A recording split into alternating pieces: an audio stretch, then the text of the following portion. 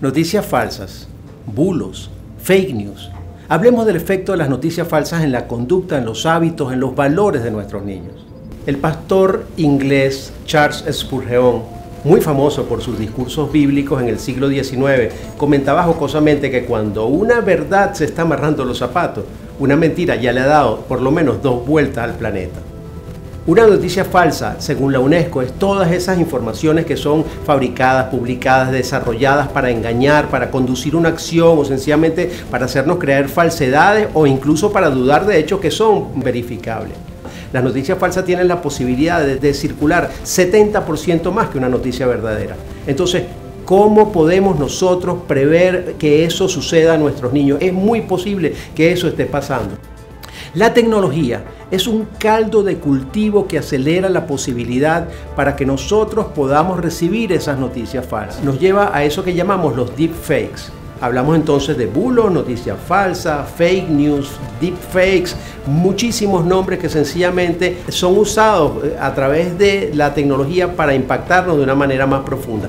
Por ejemplo, la inteligencia artificial nos permite poner a una persona a hablar en un idioma que no domina, a conversar incluso sobre temas que ni siquiera ha mencionado. Ahora, ¿cómo podemos combatir los bulos? Por las vías de regulaciones de los estados, pues sencillamente es muy difícil.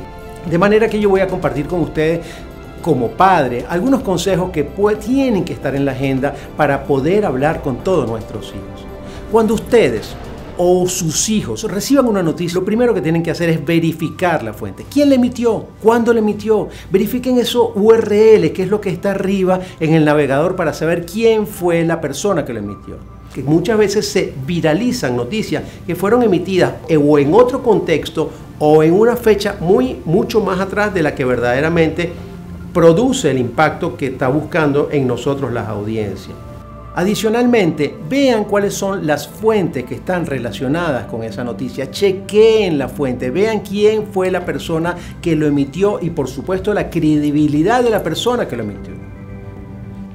Hagamos también lectura crítica del medio. Es muy relevante que nosotros entendamos en una noticia tiene un cómo, un qué, un por qué, un dónde. Hay una cantidad de información que tenemos que debemos encontrar en cada hecho noticioso que estamos en capacidad de replicar.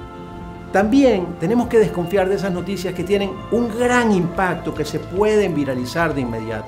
La pandemia fue el mejor de los escenarios de todas esas noticias que se viralizaban, el chip que supuestamente inoculaban en las personas, cantidad de informaciones que sencillamente no debemos compartir hay que darle tiempo al dedo para decantar si lo que tenemos enfrente es razonable, es cierto o no lo es. También desconfiemos de esas noticias que tienen un gran impacto, que muchas veces están construidas sencillamente para hacer que se viralicen de una manera inmediata.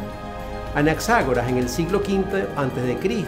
decía que si me engañas una vez, la culpa es tuya, pero si me engañas dos veces, la culpa es mía. La educación mediática, la educomunicación, tiene que penetrar en el sistema educativo de la región para hacer de nuestros niños consumidores responsables de esos contenidos que consumen y que replican en favor de su conducta, de sus hábitos y de sus valores.